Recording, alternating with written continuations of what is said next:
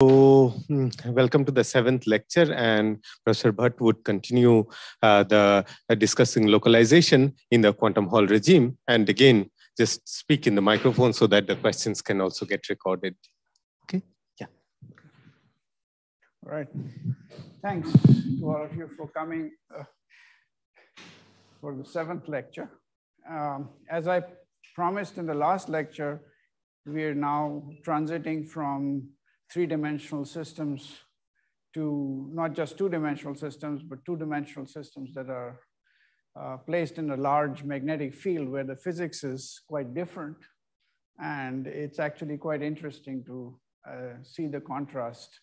And since the title of the series is from single particle to many body localization, uh, I will talk about many body localization mostly in this regime.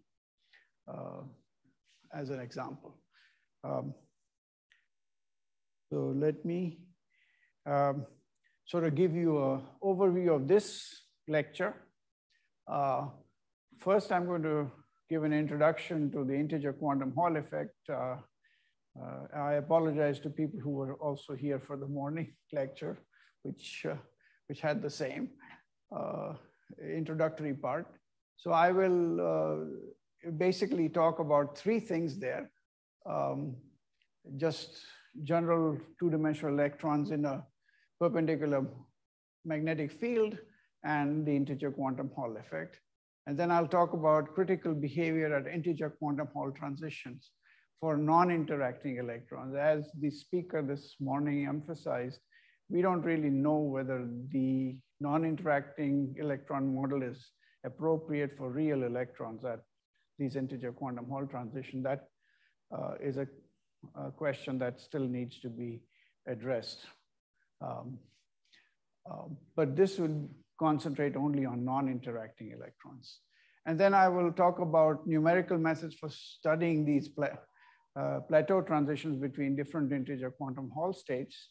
Uh, and I call them non-topological methods because this is just conventional uh, methods using strip geometry, uh, which I talked about under Anderson localization, but I will give some more examples of how this is done in the quantum Hall regime.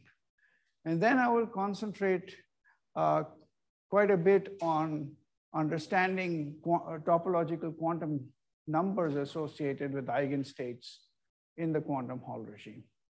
These are known as Chern numbers.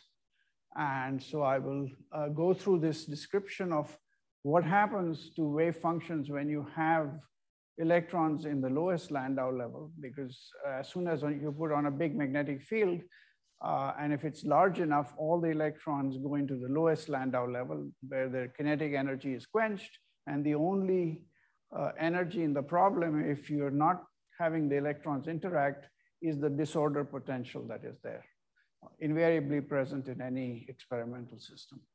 And I'll introduce the Chern number, uh, talk about its physical interpretation and its relation to the Hall conductance of uh, contribution due to that uh, uh eigenstate. And then I'll describe a method which is very different from the conventional methods to, uh, to determine the localization length exponent near a integer quantum Hall transition, plateau transition. And this involves looking at non-zero Chern number states, eigenstates. We're talking about one electron physics, so there's an eigenstate for each electron, and we look at the properties of those uh, eigenstates, and from those properties and simply their topological character, we are able to actually get the exponent of the localization length at the quantum Hall uh, plateau transitions. And then I'll also show that the same kind of method uh, can be used to, uh, uh to answer other questions. In particular, um, a, a, you know, a question as to what happens when you go to low magnetic fields. Because we know that in zero magnetic field with pure potential scattering in two dimensions, all eigenstates for non-interacting electrons are localized. So you don't have any extended states in that system. And how does the quantum Hall picture merge into that? And then finally, I'll I also do apply it to 2D electrons in a random magnetic field, which is a bit of a, you know, more of a theorist's uh, problem. It's not something that the experimentalists can do, but it's also worthwhile looking at that uh, case. So that is the uh, basic plan for today's uh, lecture. So we'll start with the, with the first one, which is basically introduction to the integer quantum Hall effect.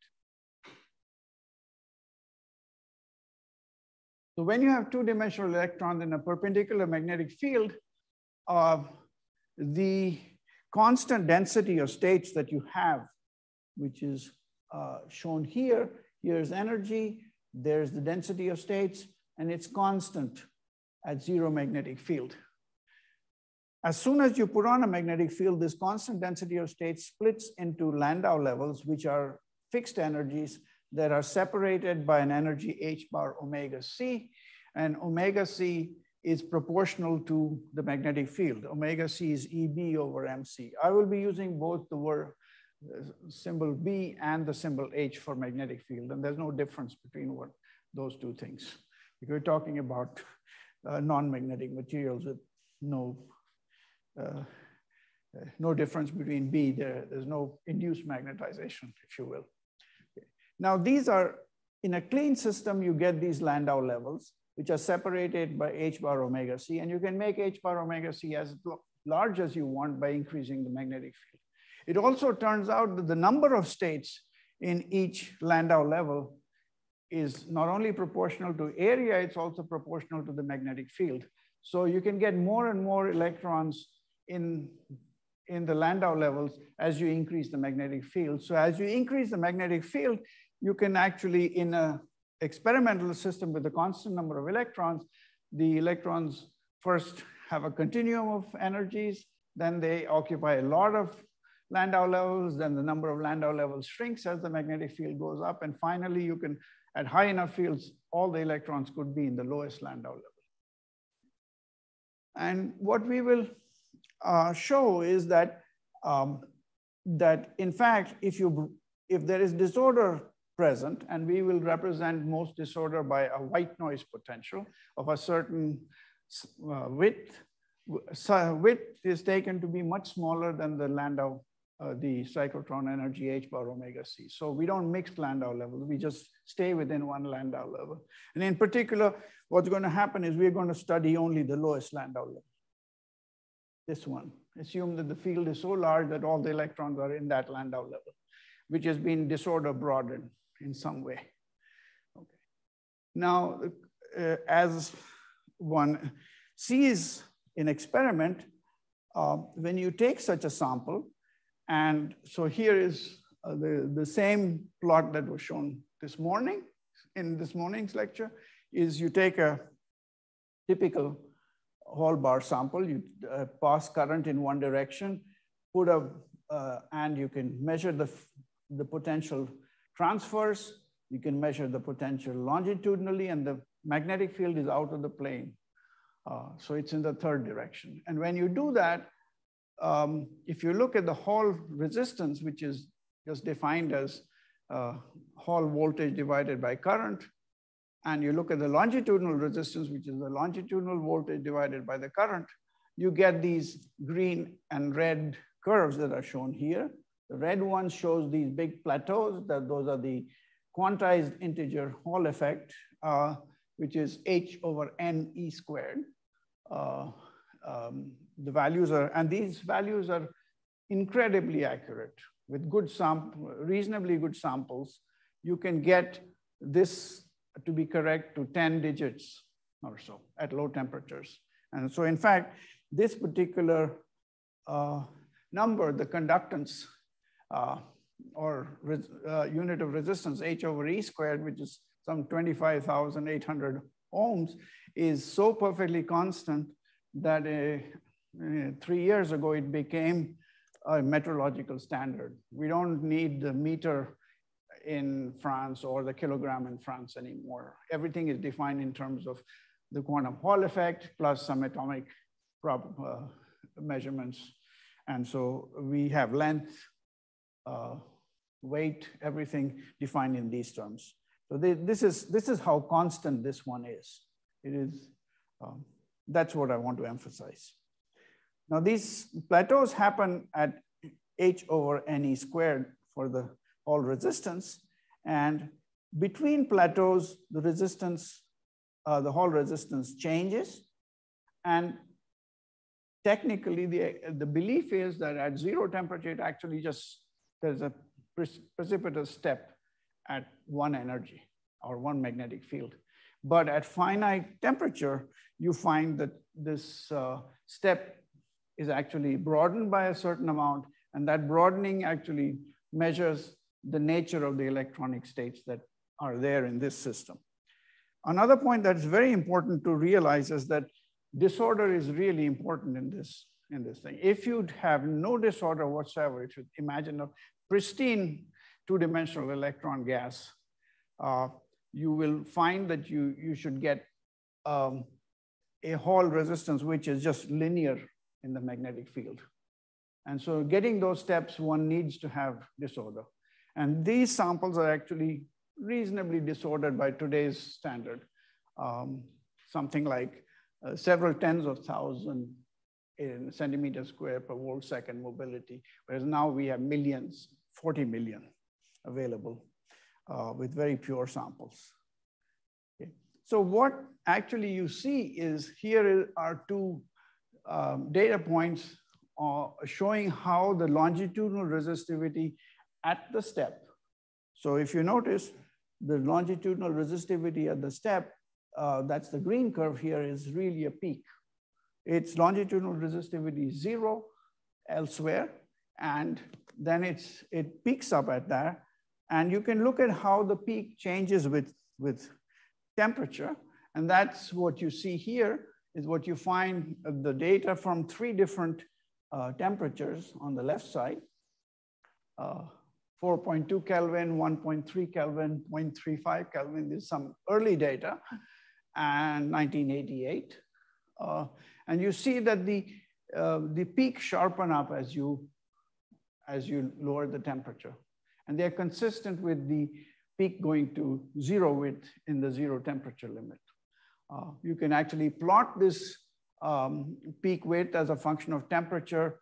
Um, uh, in fact, this is the opposite. This is the slope that is being plotted as a function at the, at the midpoint, being plotted as a function of temperature on a log-log plot. And what you find is that these log-log plots are uh, fitted by um, a functional form t to the minus kappa uh, and similarly, the width of the peak is also is fitted with the form of delta B goes as T to the plus kappa.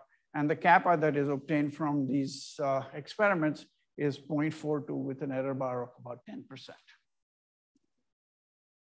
So these are, again, early measurements. So we'll see how this kappa is related to the nature of eigenstates in this system. Here is somewhat more recent data uh, from 2005. It's again from the same group. All both of these are from Dan Tsui's group um, and uh, at Princeton. And again, you see that how the plateau transition here in this case, the plateau transition is from from uh, the third Landau level to the fourth Landau level. And you find that the step from one to the other is um, become sharper as you lower the temperature. And again, the same story, you go ahead and do that, and you find that this slope as a function of temperature is a power law with a power law exponent of 0.42, as in the previous data. Okay. Um, I should point out that this only holds for certain kinds of samples. There are other samples which don't quite fit this picture. And that uh, issue is uh, still not quite resolved as to why that is happening.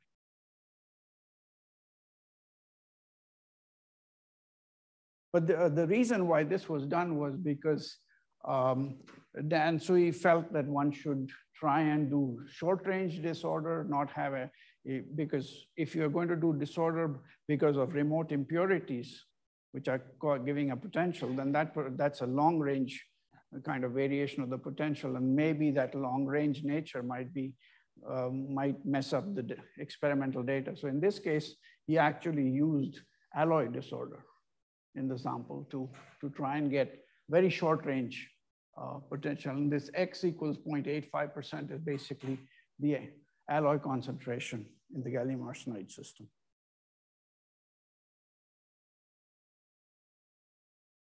Another thing that you can do is you can actually look at the temperature dependence of the peak width for different sizes, okay? And this is from a German group, Koch et al. And again, you see the uh, peak width um, as a function of temperature on a log-log plot seems to go up as a power law. But one other thing that you notice is that depending on the size of the sample, these are small samples, from 10 microns to 64 microns, you see that the 64 micron sample gives the data down to lower temperatures, and whereas the um, you know 10 micron sample saturates at uh, something like 100 or 120 mil, millikelvin. It's coming down and then it saturates. And the understanding is that when, you, when it saturates, uh, uh, you're not really looking at the localization length of the electronic wave function because it has reached the size of your sample. And so you can actually look at directly the, uh, from, the, from the saturation, you can also determine what is, what is happening. Uh, there's a third way of doing it, which is you can put on an electric field and see uh, saturation uh, because of elect finite electric field effects. And that is yet another way of it. So there are actually, it turns out that there are uh, the natural quantity that the experiment measures is a combination of the localization length exponent and the dynamical exponent z, it's the product. But you can extract the two by doing these various different experiments and uh, um, and that, that's how experiments get the uh, localization length exponent is by combining several experiments and separately extracting z nu and then z um, as a result of that. So schematically, this is the picture that one has in, uh, for non-interacting electrons. Is that the density of states is some, I mean, I've drawn a semicircle, but that's just stylized thing. There's no reason for the density of states to be semicircle, it just was easy to draw that. Uh, and the idea was at that time, the feeling was the so-called extended states at any given temperature were those states that had a localization length scale that was larger than any you know, inelastic length scale in the problem. Um, and so um, the true zero temperature result uh, is exactly this. But one can ask the question, and that was uh, certainly in the early days, uh, the question was asked, is there really an extended band inside the Landau level? We know now much better that uh, that is not something that one would expect, because if that were the case, then the uh, step would stop uh, becoming a step. It would, because of extended states in the middle of the band.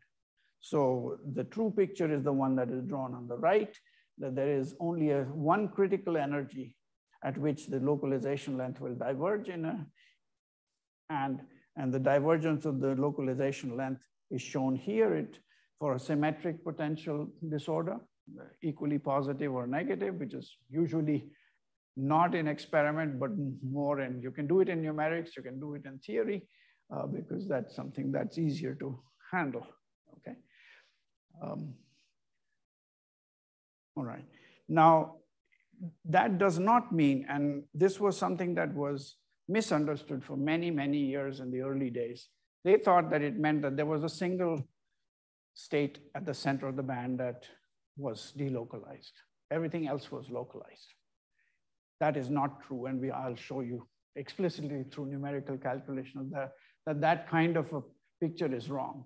It is actually a lot of states, but they go in the thermodynamic limit, they are at this uh, at the energy E equal to zero.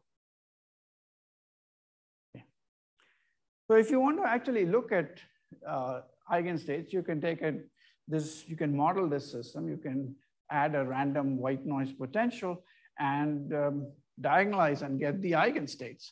So here is actually work done by Bodo Huckestein and, and Ludwig Schweitzer in 1992, showing what is the local density, that is the wave function, since it's a complex wave function, this is a um, complex Hermitian um, eigenvalue problem. And if you uh, look at the density of electron uh, corresponding to that eigenfunction, that is psi r squared, um, and that's what it looks like. It's very, very complicated. It is what's known as multifractal state. It has peaks, and then there are peaks within, you know, you get rid of the top peaks, and then you find smaller peaks, and then you find smaller peaks, even smaller, et cetera, et cetera. And if you really wanted to analyze uh, you wanted to describe this wave function, it has to be done in terms of multifractals. And that's a whole um, sort of subject in itself. I won't go into that. I just wanted to show you what this wave function looks like. It's not a very simple plane wave like uh, wave function at all. It's uh, very complicated. And the precise nature does depend on the disorder, uh, precise disorder that you have, but statistical properties are the same on so that. When you say it depends upon the disorder, you mean the fractal dimension actually? No, no, no, I don't mean that. I mean that the precise geometry of this uh, depends on the disorder. That's all. So as long as the disorder is not at the scale of the magnetic length, the yeah. uh, etc. All the same, right? Exactly. If you, that's what I said. If you take any statistical property based using this wave function, you'll get the same answer.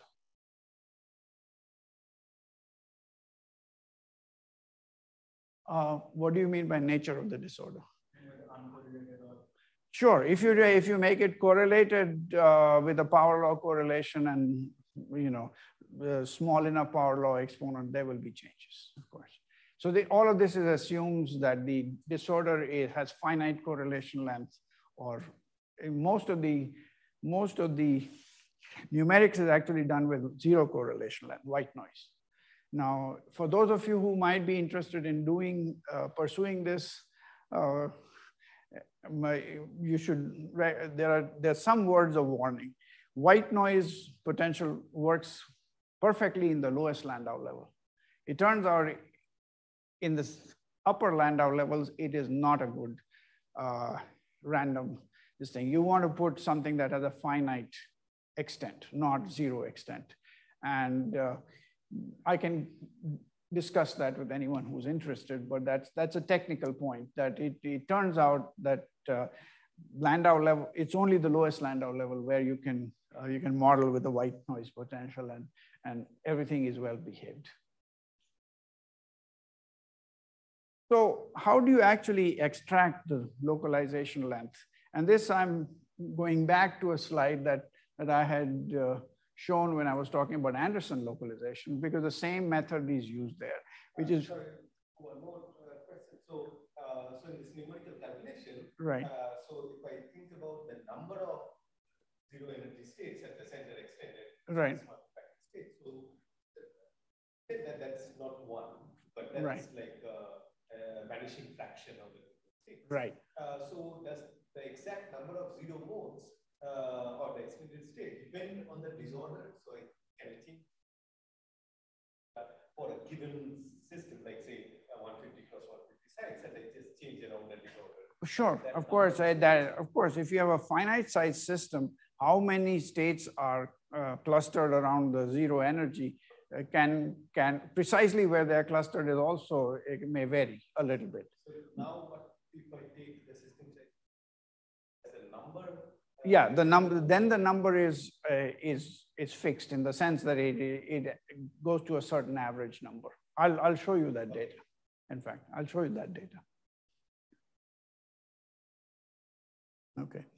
So one of the most used methods for finding out localization length for any whether it's a three-dimensional system or a two-dimensional system is to start with a two-dimensional system. So in this case, it's a two-dimensional system. So you start with a square.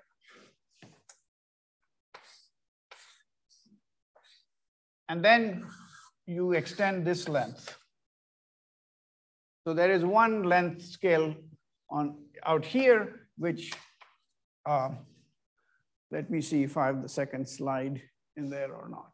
No, I don't have the second slide. All right, then I, I'm free to use what I want. So let me assume this has M um, um, eigens, uh, effectively M wide, and this length L is going to go to infinity.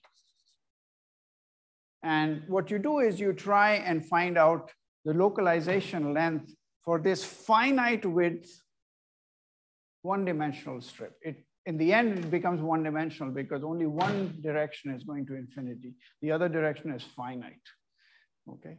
And so the way you do that is you, you write down the wave function on here and at the next uh, site, uh, site, and then you use the transfer matrix, which is basically that uh, if you know the Hamiltonian of the system, you know what, and you're looking, deciding what the energy is that you're trying to um, model, then you the transfer matrix is just given by this, uh, this combination right here. And you can, starting with these two, you can then get the next two, et cetera, et cetera, and you can keep on going. And then what you do is you look at the transfer matrix product of all these TIs. And of course, what's going to happen is that some eigenvalues are big and some are small. So you, you start getting more and more of one eigenvalue compared to the other. But you have to, um, in that case, look at this, uh, this average. That is basically the product matrix multiplied by its complex conjugate to the power one over two n, where n is the number of transfer matrices that you have multiplied, and look at the limit n going to infinity of the eigenvalues of that matrix gamma. And the eigenvalues are exponential, are represented as exponentials of what I call Lyapunov exponents, gamma 1 to gamma 2m in this case. And the um, inverse uh, correlation length is the minimum of these Lyapunov exponents. So you do this procedure, you go ahead and find out the minimum eigenvalue, uh, gamma i, and the inverse of that is the localization length. It tells you what is the longest length scale in the problem. Everything is decaying. But the longest length scale of the decay is the one that's the localization length. Now, this is well defined because there's a mathematical theorem that in one dimension with any disorder, you always have eigenstates with finite localization length. So there is no problem. You're not going to get any you know, zeros or stuff like that. You're going to get some small number, but you're going to get, it, it's always going to be finite.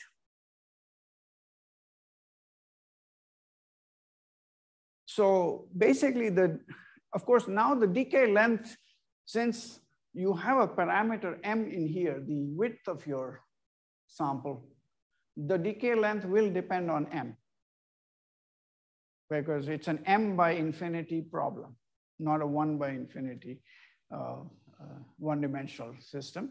And so the expectation is that lambda m over m will be some universal function of m divided by, uh, by the actual localization length.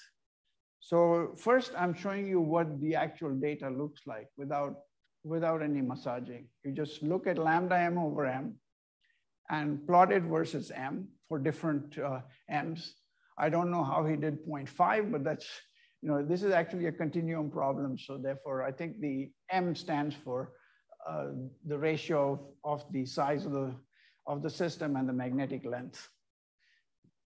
So going from 0.5 to 64, what you find is you get a series of curves that depend on the energy that you have, okay? So the topmost curve, which is, which is that one right there, is coming at energy um, uh, 0.01. That's, that's this one right here. 0.01, all right? And then at 0.05 is the next curve, then the next curve, then the next curve. Now, if these were all localized, then all these curves should actually go down as m increases for every energy. But you notice that there is a little bit of a non-monotonicity for near the center of the band. At least the, there's non-monotonicity for small m.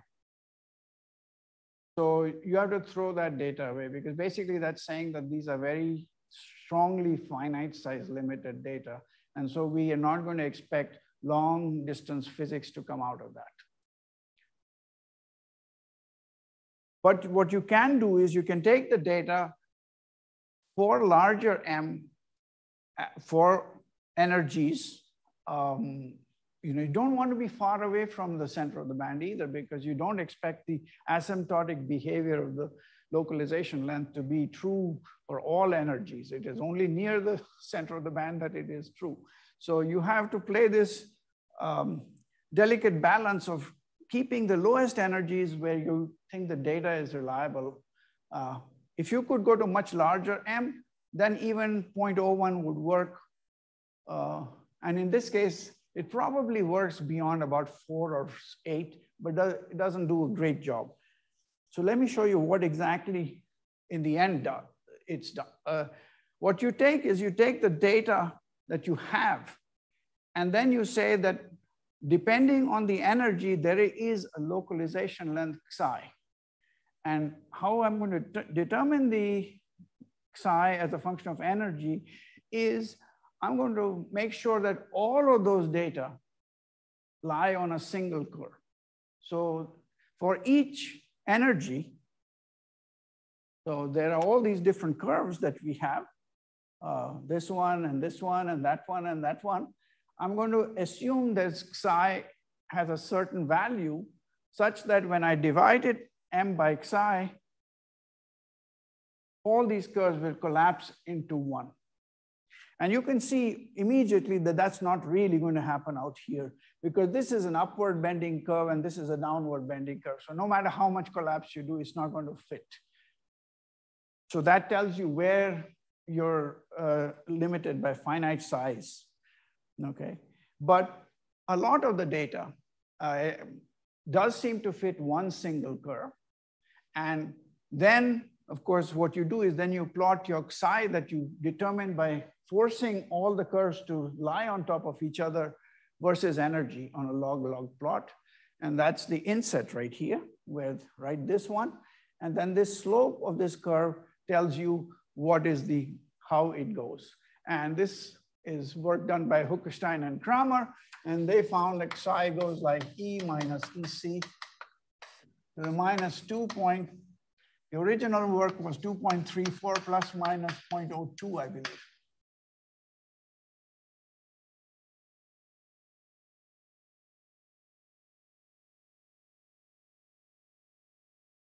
So that is how you uh, determine it. Now, uh, those of you who might have attended this morning's lecture, there are many more day, uh, works that are very similar to Huckestein and Kramer's, but they go to bigger sizes.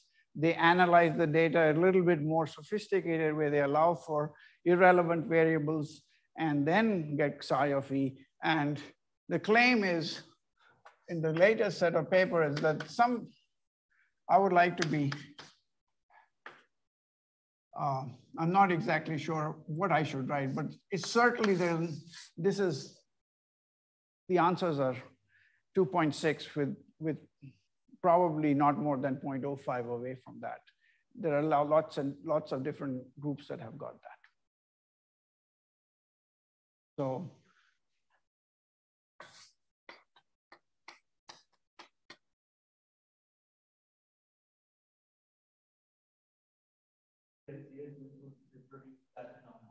No. This is all numerics. There is no, so there is work done by uh, Martin Zirnbauer, who is actually claiming that this exponent actually is infinity.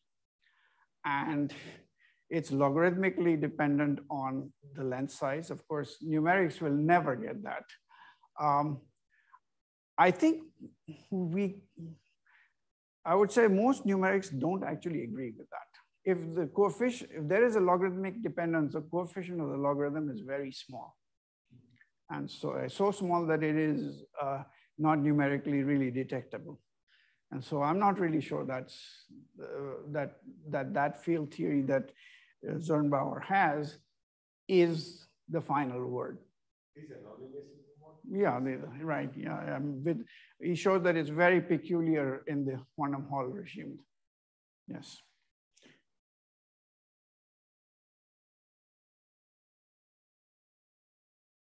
So I want to actually tackle the problem slightly differently because um, when you take the data like this, you're actually taking a two-dimensional problem and converting it into a one-dimensional problem. And so there are many fitting parameters that you have. You first have to extract the localization length for your one-dimensional system, then see how it scales with the size of the width of the system, and then extrapolate to get the answer. So there's a lot of jugglery that's involved there. In addition, more recent data that said that this number is actually not right, but this number is more right, um, required psi not just to go as that, but there are corrections to that, which are subleading, okay? And of course, if you have more parameters and you have numerical data with some uncertainty, with some error bars, you can fit the data and get different results. After all, the data has only finite fidelity. You can, uh, if you put in lots of parameters, you can get uh, many things. So that's a, that's a real issue that I think needs to be uh, sorted out. So we decided uh, some years ago that we should really try and understand these eigenfunctions from a different point of view. And so I'm going to talk about a paper that I wrote with Dan Arovas and Duncan Haldane in 1980s uh, when we first started understanding these wave functions.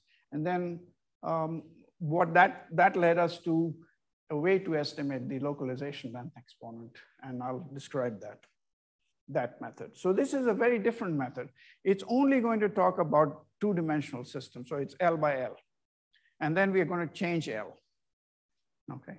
And see how properties uh, change as, a, as the size L changes and then try to extrapolate to L equals infinity.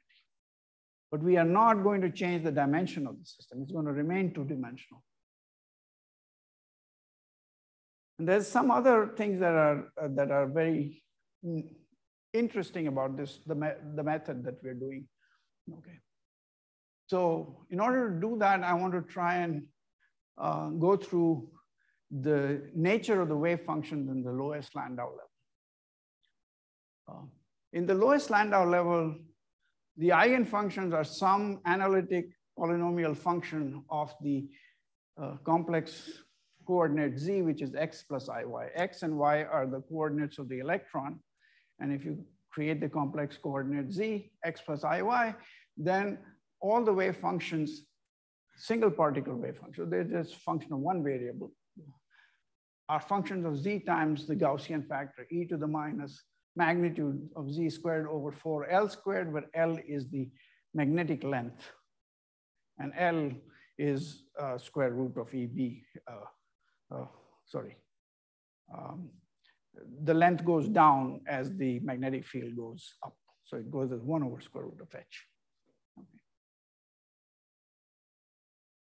Now, suppose you have a periodic geometry rather than infinite space. Okay, so I'm now talking about a two-dimensional sample, L by L. And of course, I can talk about very large L, uh, L and that's, that's represented by that wave function.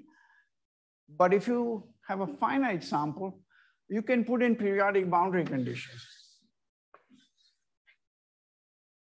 Okay, you can imagine you, but you can put it periodic boundary condition with a twist angle because this is the, uh, you know, if you were talking about Anderson model, you can put periodic boundary condition or anti-periodic boundary. That is, you change the sign of the wave function when you stitch them together.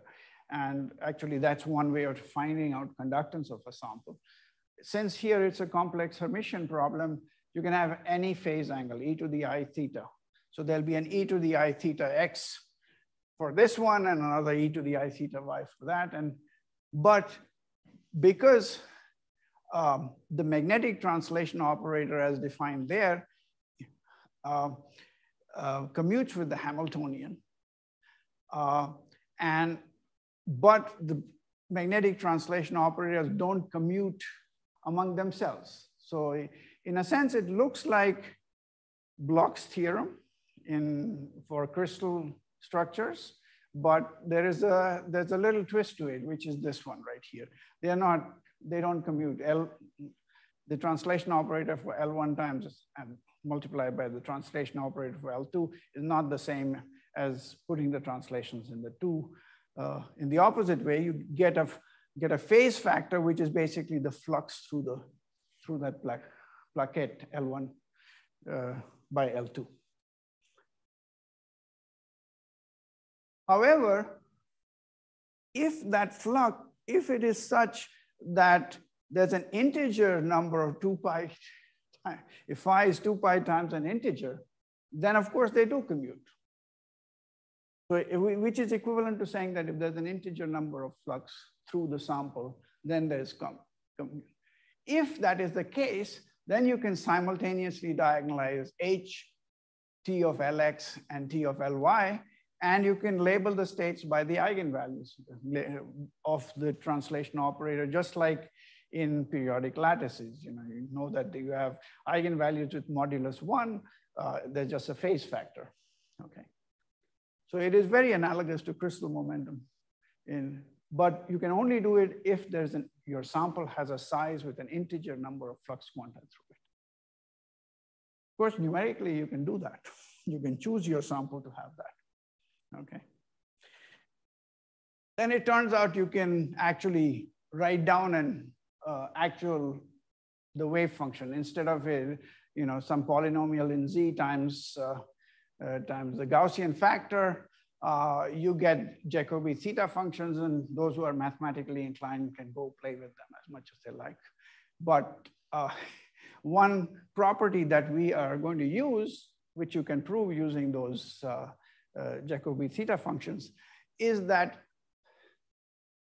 in the actual uh, um, sample, okay, there are precisely as many zeros of this complex wave function as there are flux, as the flux through that sample. So, and moreover, it turns out that if you know the position of the zeros, you can write down the wave function. That's all. So there's a one-to-one -one correspondence between the zeros of the wave complex wave function and the actual functional form of the wave function.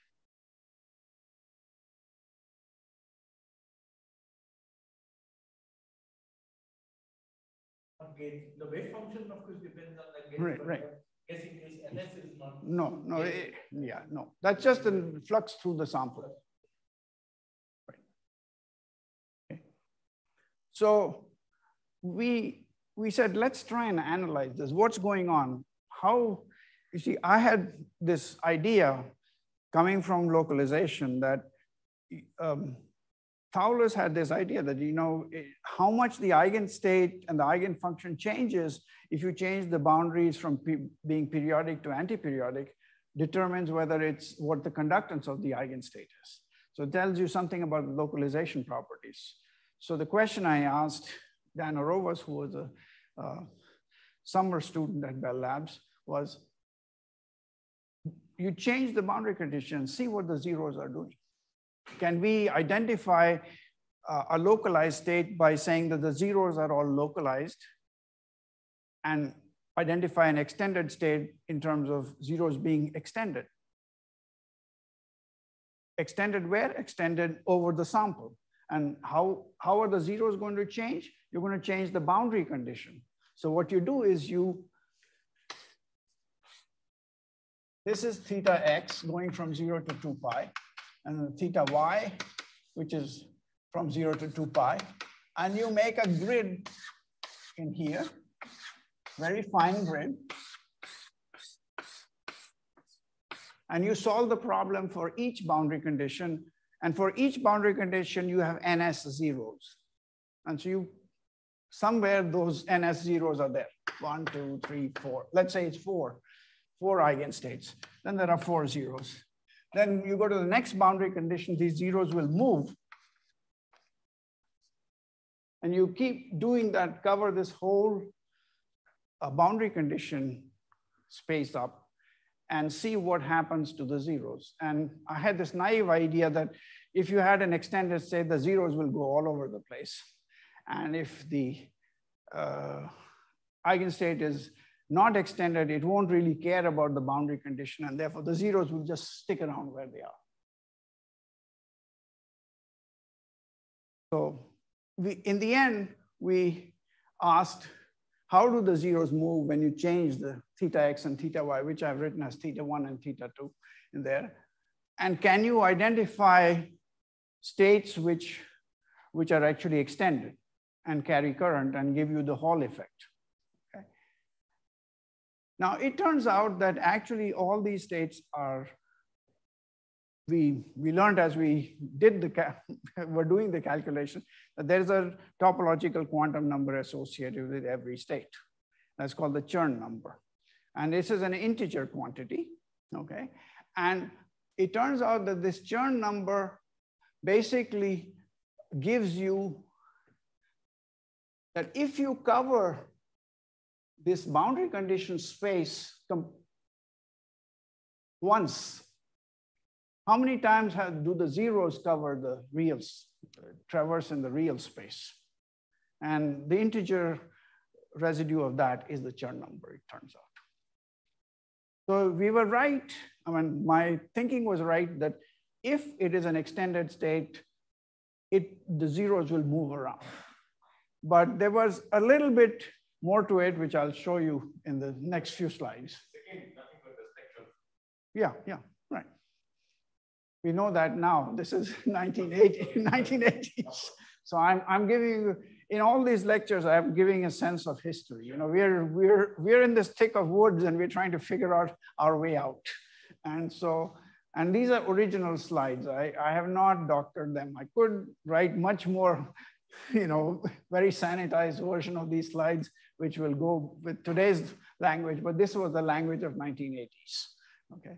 The other thing, of course, one knows is that sum of the Chern numbers of all the eigenstates is one. So the first thing you, have, you might ask is, how do you know that there's an, that the, uh, an eigenstate has a fixed Chern number? What guarantees that, okay? And I will come to that a little bit later.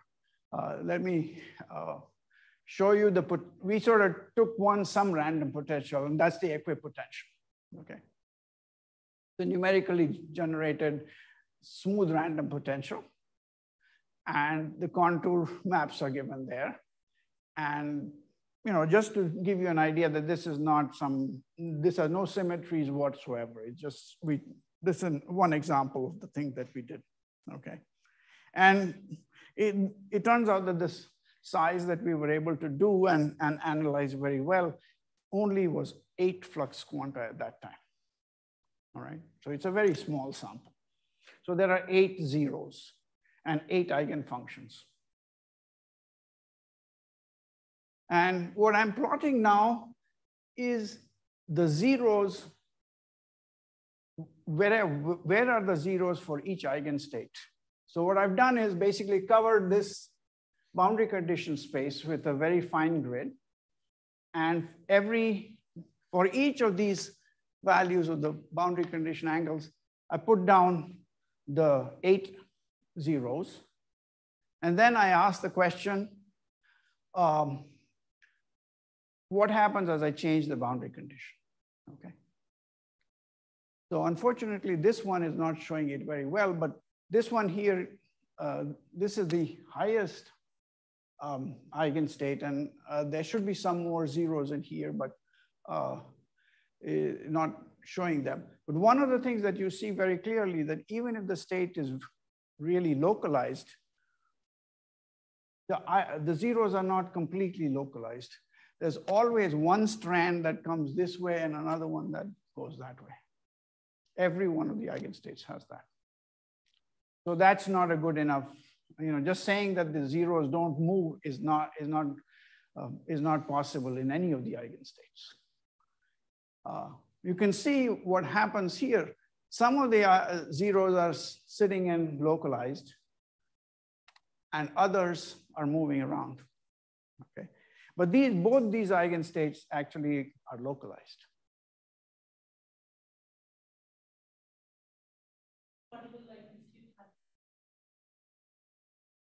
Yeah, no, they have, they have zeros in real space for any given theta one, theta two. And then I change theta one and theta two, and I ask, how do these zeros move? And these are the figures that they make, okay? And these two states are the highest two states. Uh, this is psi eight, no, this is psi five. So it is closer to the center of the band. I'm basically one, two, three, four, up to eight. Let me show you some of the others. This is psi four, and this is psi three. Now, unfortunately, these, uh, these are, haven't come out very well in the projection, but you'll have to take my word for it that in this wave function, we cannot get any zero here or there or there.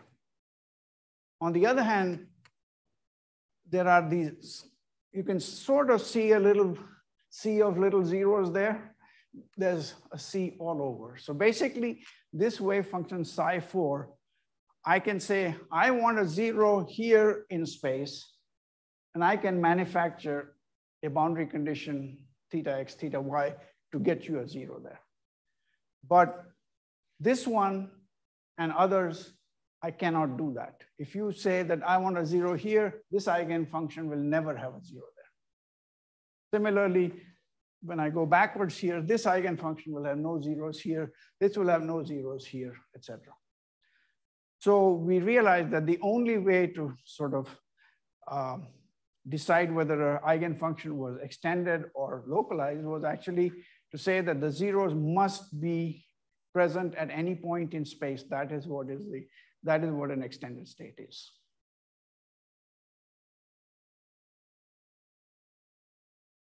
So let me tell you, uh, so that's the actual, uh, actual reference, uh, Arovas et al., 88.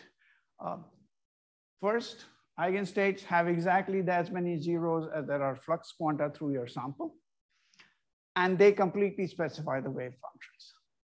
The second thing that you can prove is that eigenstates do not cross in energy as a function of theta. And the way to see that very clearly is if two eigenvalues are very close to each other, you, um, for some theta x and theta y, um, you can forget about the rest of the eigenvalues. Then you can sort of say one of them is here, the other one is here, and here's delta real plus i delta i, because it's a complex Hermitian matrix. And the only way you're going to get two eigenvalues to cross is this has to be equal. These two must be zero. Delta R must be zero and delta I must be zero. There should be three conditions met, whereas we have only two parameters, theta x and theta y.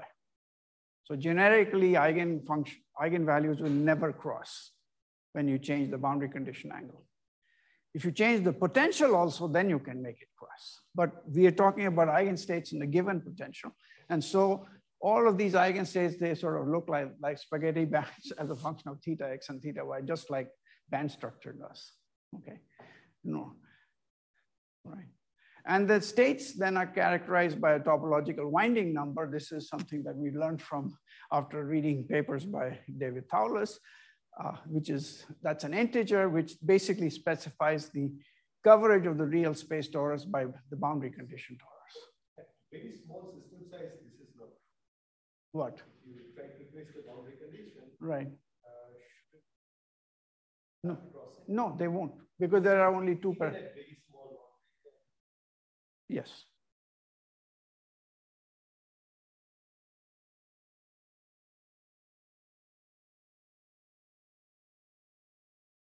If you change the potential, yes, they will.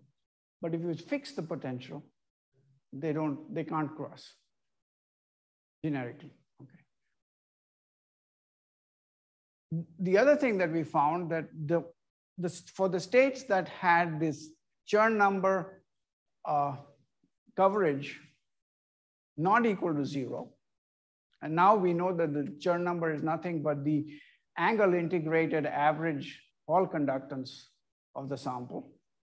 And that we found that out the hard way. Basically, we, we calculated the Hall conductance and then we integrated over the over the boundary condition angles and we found we are getting numbers like 0.99997 and 0.00003 or something like that. And so we realized that basically that, that the integral, the average Hall conductance of any given eigenstate, the fact that they don't cross allows us to identify the eigenstates one, two, and whatever the number of uh, flux quanta there are. And so in some sense, there was a natural association that when the Chern number is not zero, it has a finite contribution to the Hall conductance. It's certainly the average uh, boundary condition average Hall conductance is a non-zero integer. And you have itinerant zeros and we identified those states as extended and those that had Chern number zero were localized.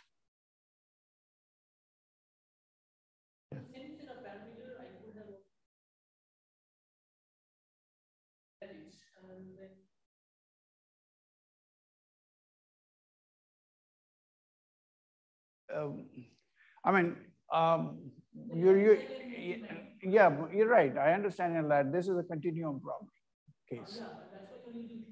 Right, exactly right. So you could probably do that in, the, in that case too. Yeah, absolutely. With a disorder potential, right. Yeah, it won't be momentum. You, you have to do the supercell. Yeah, yeah.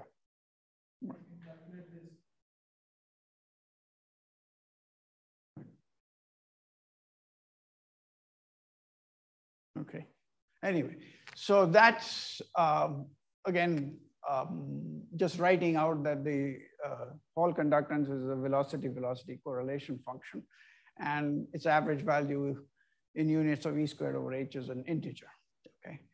So basically, um, that's where it sat, sat from 88 to 92 when I moved to Princeton. I, my first graduate student, Yan Huo, I told him, let's, let's try and figure out where these Chern not zero states are in the band, okay?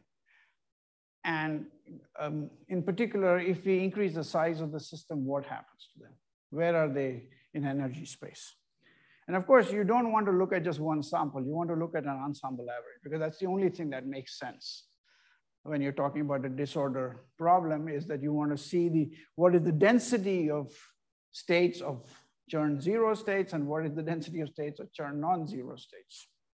And I'm going to show you that data next, okay?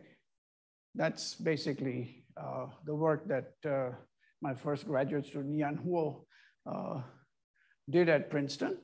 We asked, where are these non-zero Chern number states?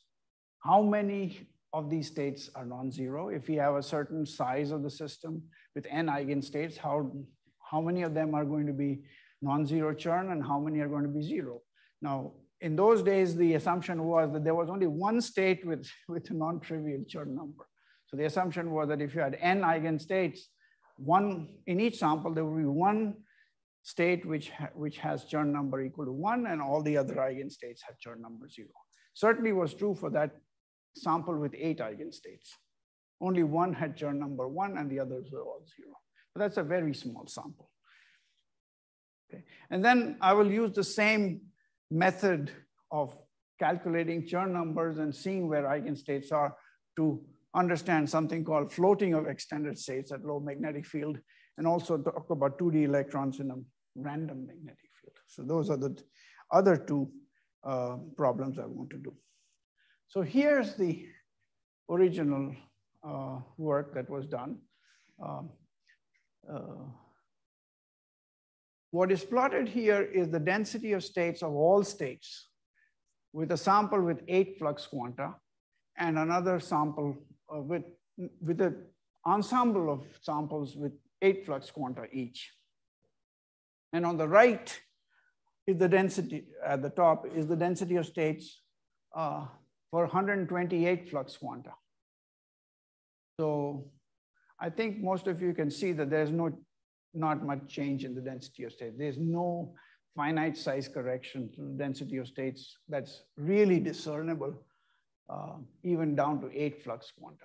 Okay. Maybe somewhere in the tails there are some issues, but at least the central part looks very much the same. The next thing we did was find out what's the density of Chern not equal to zero. And we didn't sort of restrict ourselves to one or minus one or two or plus minus two, etc. Because all that is required is the sum of the Chern numbers has to be equal to one. So if there's only a single state with Chern number, then it has to be plus one and it, there would be only uh, uh, one for each sample. But what you find here is actually that the Chern non-zero states are clustered around the center of the band. And they get clustered more, more and more narrowly as the size of the system goes up. So what I'm trying to say is that this width is significantly more than that width. And both widths are much smaller than the width of the total density of states, half width of the total density of states. So you can say, well, let's try and plot the width as a function of size of the system. And that's what we did here. The width plotted against the number of flux quanta on a log-log plot. And it seems we tried two different kinds of random potential. One is Gaussian white noise. The other one is short range scatterers that have been sprinkled. And while the actual numbers, of course, differ because they, you know, the two potentials are very different. Um, and what we find is that the slopes of the two lines is pretty much the same. And the slope is 0.21. Now, if you remember the, the slope of the curves in, in uh, the experiments was 0.42. So that's very suggestive that there's something going on here, which is, uh, there's some relationship maybe between this X that I have and the uh, kappa that the experiments got, okay? So what's the argument? Okay, basically what we're saying is that, that this X is measuring the localization length exponent.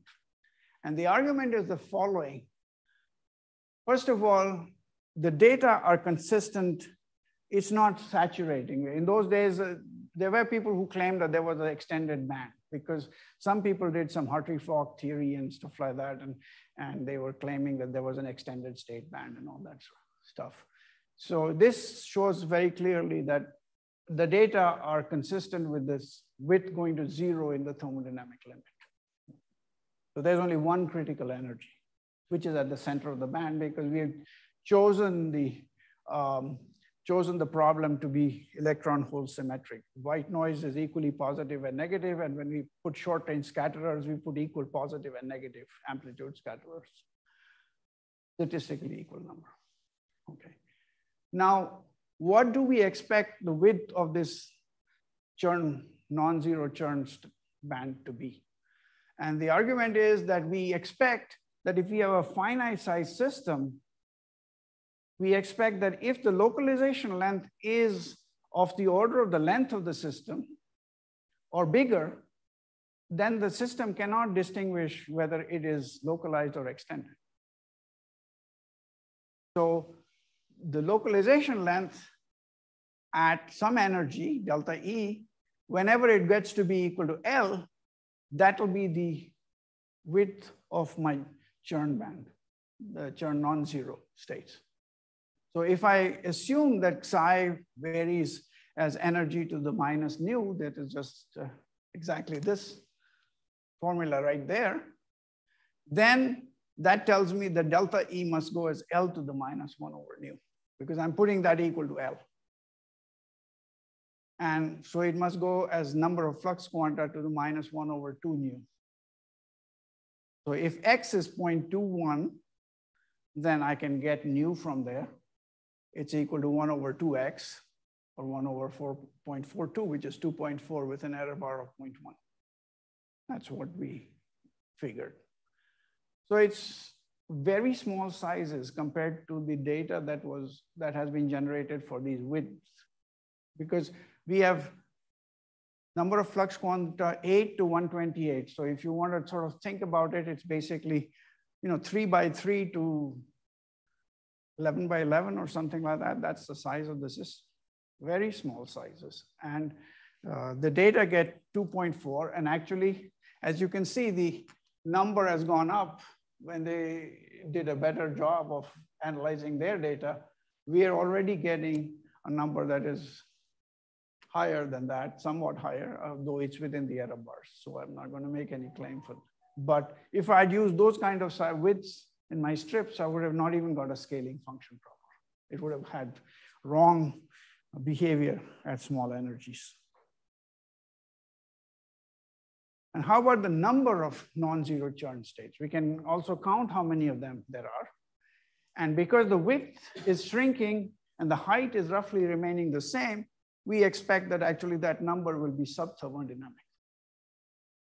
So if you look at this, this plot, it is roughly um, uh, n, to, n to the 0.79. It's 1 minus that 0.21 that we had for the other one.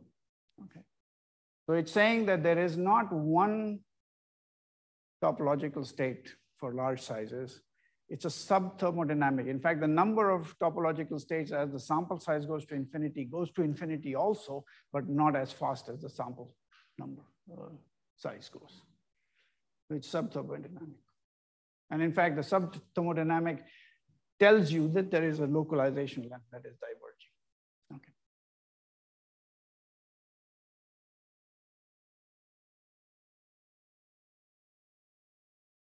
No, there is no, no proof of that, but people thought that that's what, because, because it is happening at one energy, they thought it was a specific and eigenstate. But that's not true. It's, it's, it's states within a small energy window around the center, and that energy window is going to zero in the thermodynamic limit, but it is finite. And, and how it's determined is basically by saying that for a finite size system, the localization length at that energy scale is exactly equal to the length of the sample.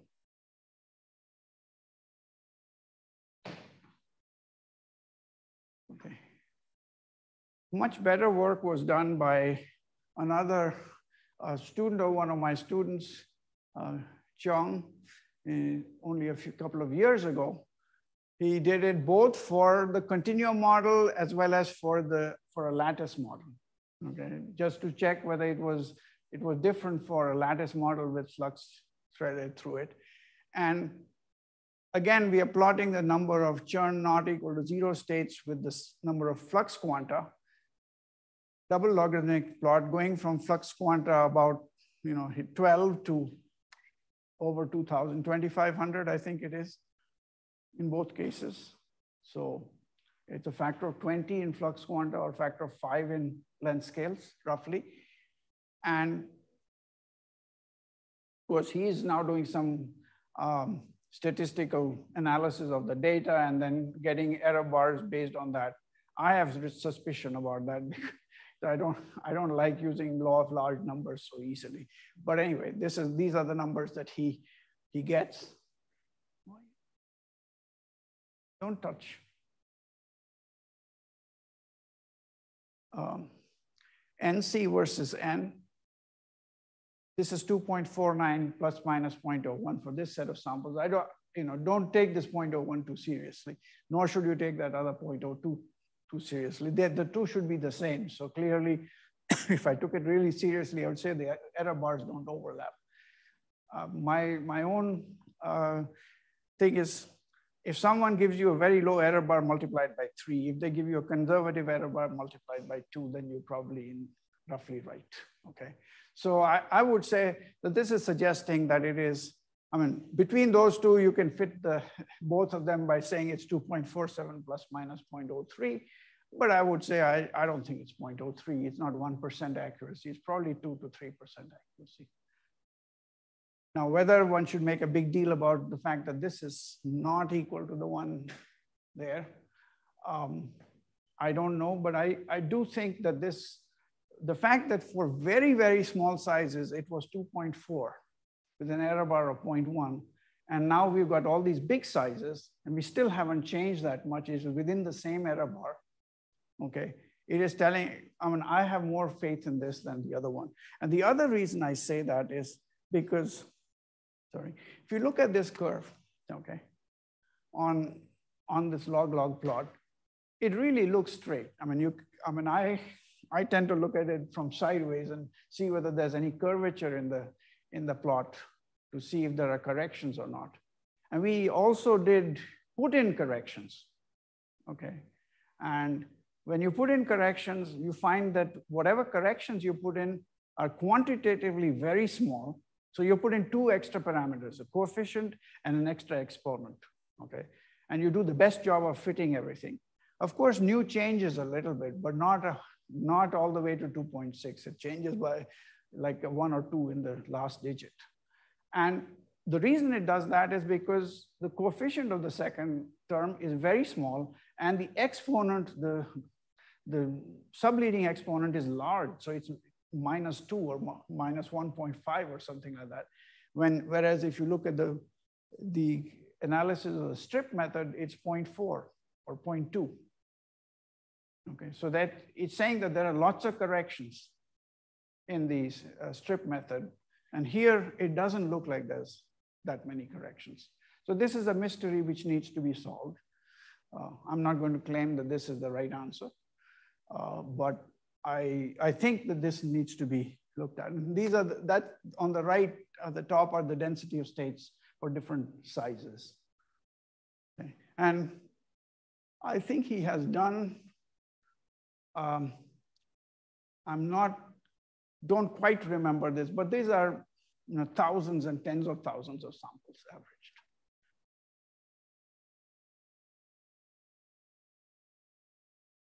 Actually, one of my other students in the early 90s, very soon after Yan Huo, my second student, Muyu, um, um, actually did the same kind of stuff for Thouless conductance as a function of energy and size.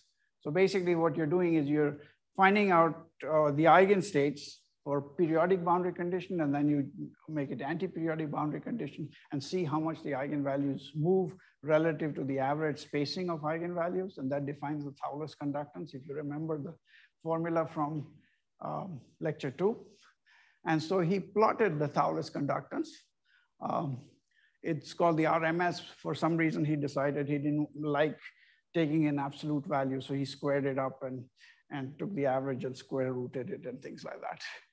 But again, the same thing that it is collapsing near the center of the band, saying that the, the, that the in the thermodynamic limit, the conductance is only finite at the center of the band where there's an ex, where the localization and diverges everywhere else the conductance is going to zero because they are localized states. And by plotting the width as a function of n, he's able to get that. And the slope is again 0.21, suggesting somewhere around 2.4. Again, I don't know the error bar here, but it's sort of comparable.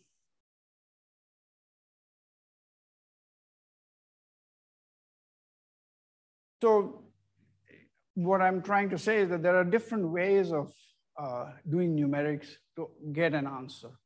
And I think it's very useful to have a situation where there are two very different methods to get the same answer. Then you can, if they give the same result, you can trust it. So to the extent that 2.47 or 49 and 2.58 or whatever it is that is the, the latest number are, you know, they're certainly within um, within 5% of each other. So we can certainly trust that answer to 5%, but we, I don't know whether we can trust it to 1%, not just yet. So another thing that you can do using these Chern number methods, basically identifying what are the what are the extended or current carrying states in, in the quantum Hall regime, is you can try and understand the crossover to low magnetic field.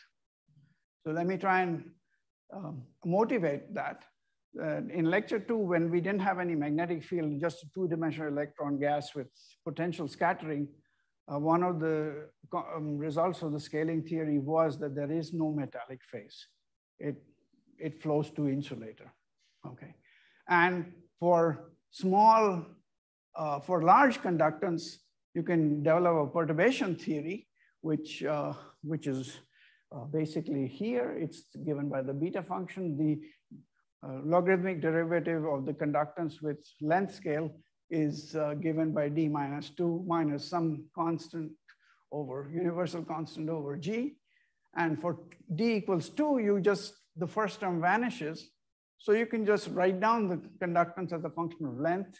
And we did that in lecture two and showed that the conductance at a large length scale is the conductance at the microscopic length scale minus uh, um, a universal number multiplied by the log of uh, capital L over L. Okay. And of course, um, uh, G at the, at the, at the um, microscopic length, which is the mean free path, is just the Drude result, which in two dimensions is e squared over 2 pi h bar times KFL. And KFL is supposed to be very large. You're talking about a metal with very few defects. So the mean free path is supposed to be very long, whereas inverse KF, that is the uh, de Broglie wavelength is microscopic, okay? So KFL is a very large number. So one expects the G, little, G of little l is quite big and it'll take quite a long length before the logarithm is going to catch over and make that thing zero. So if you sort of say that, well, at some length scale C, the conductance becomes vanishingly small using this low you know, perturbative result, you find immediately that C is just put capital L equal to C and, and put the left-hand side equal to zero, and you'll get C equals L exponential of pi KFL over two. And since KFL is supposed to be much bigger than one, pi over two KFL is also very much bigger than one and its exponential is exponentially large. So basically it's saying that you, for weak disorder, you have very long length scales, uh, localization lengths, but they are, low, every state is localized, even though they're localized over long length scale. So let's try and understand how these Landau levels, when you go to low field, what happens to them? So that is drawn, uh, I, uh, hand-drawn figure that I made uh, two days ago is basically, if I look at the energy versus magnetic field, then each of the Landau levels is at n plus one half h bar omega c. Omega c is proportional to h, so they're just straight lines going through the origin, okay? So these are the energies of the lowest Landau level as a function of field. This is the energy of the second Landau level uh, or first Landau. This is the zero, this is the first, this is the second, et cetera, et cetera. Just, this is known as the Landau fan diagram, basically. And I've, I've sort of put hashes there to say that there, it's really broadened by disorder, okay, which a disorder doesn't depend on magnetic field, so the width is the same. So when the splitting between these Landau levels gets to be of order the um, uh, order the disorder width, uh, something else will happen. Now, one of the things that was pointed out by Khmelnitsky and also by Laughlin was that we know that there is a extended critical energy inside each of these Landau levels where the localization length goes to infinity. We just saw numerical evidence of that. So what happened to those infinite localization length? We know that out at zero field, all the states at finite energy are localized. Even if they have exponentially large localization and they're still localized, which means the only way that can happen is that this middle of the band, which is, which is this extended states, those Chern not equal to zero state, they must be going up to infinite energy as you go to uh, zero field. That's the only resolution of that they carry a topological quantum number that cannot be, uh, uh, you know, they all have plus one. Plus one plus one never gets to zero. In a, in a tight binding model, of course, what happens is that there are, there are negative Chern number subbands which will, which will cancel the things. But nevertheless, this was the idea that if you are very close to a free electron problem, you should see some floating of these critical energies. So we actually tried to do that. And we did that. This is with Kun Yang, who was my postdoc. Um, and what we did was we actually did a, um, a tight binding model. And in this tight binding model, um, it has a central band and two side bands. And you can think of the two side bands as Landau level. Basically, this is the first Landau level. And, uh, and what happens is that you should think uh, that um, this is zero, uh, the lowest Landau level, and that's infinite energy, and that's on the other side of infinity. Uh, if you, you can make more subbands if you want, but the, the data are most conclusive when you have just one Landau level in this problem, okay? And so this is the density of states of all states um, at a disorder strength of W equals one in some units. And this is at disorder strength of 2.5. And the lower panels tell you the density of Chern not equal to zero states. And what you find is, of course, for small disorder, the um, Chern not equal to zero states are in the middle of the Landau band. So I'm trying to say that this one is at the cent in the middle of that guy. It's got a slightly smaller width than that. But when you go to this larger disorder, what you find is that this, um, this energy is actually not the same as the energy of the full of the lowest band. In fact, it's quite a bit higher, it's somewhere there. So the critical energy, which is represented by Chern not equal to zero states, are actually floating relative to the rest of the band. So, the, so there is evidence of this floating that was conjectured by uh, and by, by Laughlin. So that's another way, another thing that you can use this method for, okay? And you can actually scale the number of extended states. Uh, I don't want to go through that.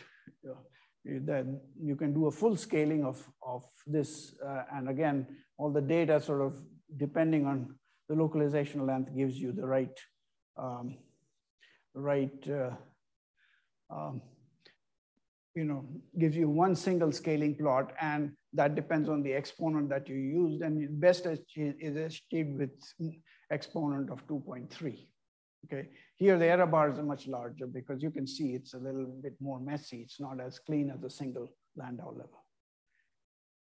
And, you know, okay.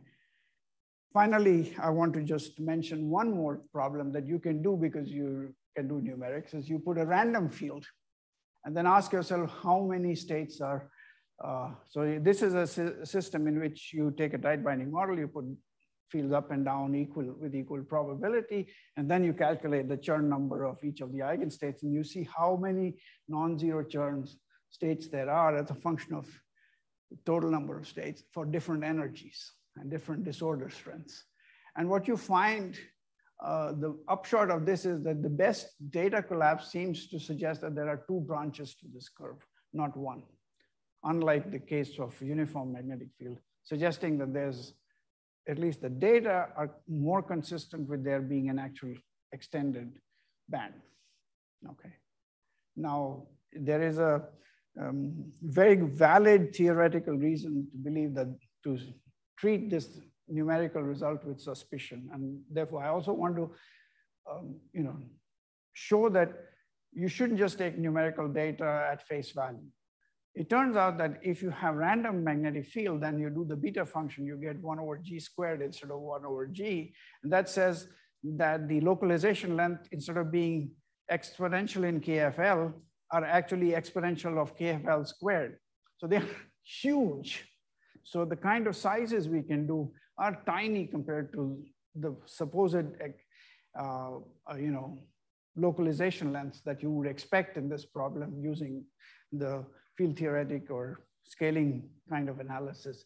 So it is quite, you know, it's not unlikely that something that diverges so rapidly at the, at, at the, at zero energy looks like a, as if it's diverging with a finite localization length, I mean, finite power law divergence at a finite energy, which is what this is suggesting. So you have to take that with a pinch of salt. Uh, better numerics has to be done. I don't know whether that has been done since, you know, this, uh, this was 25 years ago. So, uh, but I don't think anybody is really, uh, when, when you see that the length scale is growing so rapidly, um, as a numerical person, you have to sort of say that this is not the problem that numerics is going to solve. This is going to have to be solved using analytic arguments. And the numeric can only help the analytic arguments. It, they cannot, uh, they cannot, uh, um, you know, be the primary way to. On the other hand, if you want to look at the localization length in a, in a finite magnetic field in a Landau level problem, they are certainly very good uh, at getting that. Okay. And with that, I want to finish for today. And I will continue uh, tomorrow with uh, talking about um, fractional quantum Hall effect to localization transition, and then finally many body localization for an interacting system. So tomorrow, I'm sorry, Thursday's lecture, the final one is going to be about interacting electrons and how, what numerics has to contribute to that.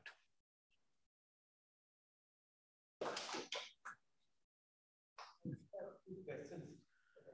So uh, the first question is, uh, do you think that this limitation of these certain uh, levels uh, also works for things like graphene? I, my own feeling is, uh, well, graphene has uh, both plus and minus. Yeah. So, so I think there that would be that would suggest that it's uh, um, mm, um, I mean, it, it, sort of depends a little bit on what the Chern numbers of each of the uh, Landau bands are, right? Because uh, uh in for the simple parabolic case, they are all plus one. Uh, with Dirac dispersion, the central one is uh, is different. And uh, if, if they're all positive Chern number states, then of course, there's no way to um, cancel them without getting them to plus or minus infinity in energy. Um, but you know, if you realize that all of these things are actually in a um, in a lattice, so we are only talking about physics on the length scale of the magnetic length, which is which is on the order of 70 to 100 angstroms whereas lattice constant is two angstroms, right? The nearest neighbor distance. If you start with a tight binding problem, then what happens is, um, and let me not talk about graphene, let me just talk about ordinary gal gallium arsenide or something like that, but I assume that the band curvature changes at the Brillouin zone edge. Then I ask myself the question, what, what is the Landau level structure of that? What you find is you get positive plus one, plus one, plus one, plus one. And then there's a central band. And then there's plus one from the other end. And then there's a central band that has exactly the negative Chern number of the sum of all the others. And so what happens when you put disorder is the central band tends to broaden and come down and eat up the Chern numbers of all the bands. So I think it is probably true that the lowest, at least in the in the normal case, p squared over 2m, the lowest Landau levels do levitate, but maybe not the others. I mean, before they levitate, they get eaten up by the, um, well, I don't know, if you strictly talk about the continuum, it's a, it's a singular limit. That's the problem, right? Um, uh, I don't know about the graphene. I haven't thought about it, but that's a really interesting problem.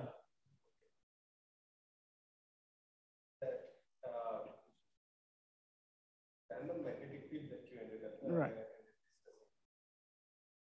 So, so if I don't do it at say zero mean value, right, but a small mean value, right, right. Which, uh,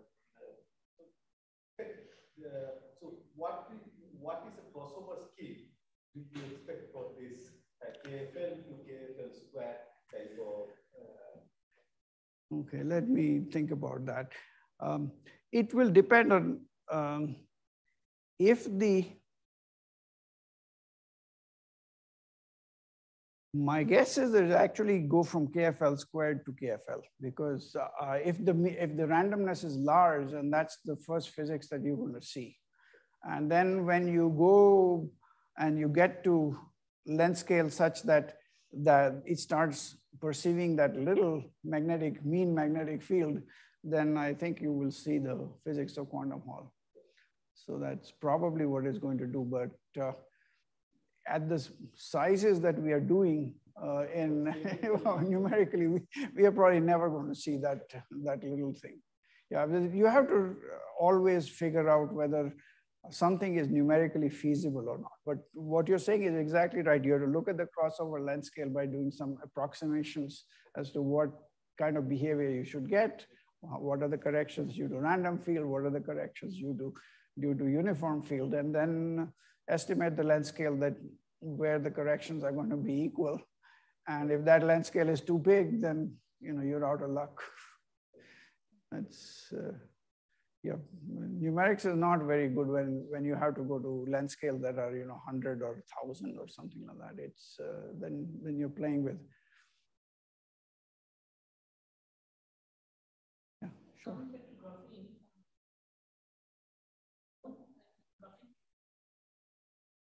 I assume it is the same. I, I have not, uh, uh, I have not uh, seen data. I must confess, uh, I've been mostly working with interacting like everybody else. So I, do, I, don't, I haven't followed what the non-interacting people are doing in the case of graphene. Yeah, it's, uh, but it's certainly, uh, you know, there must be papers of that kind, definitely.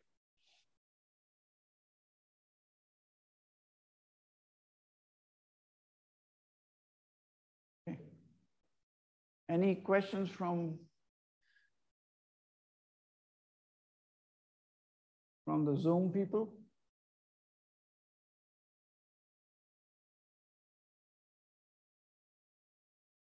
Don't think so. So in that case, let's uh, stop.